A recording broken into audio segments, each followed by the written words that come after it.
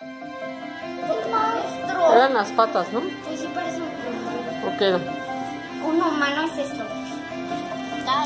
Aprendí que hay apariencias, que engañan, pero también que hay algo mucho peor. engañar para aparentar.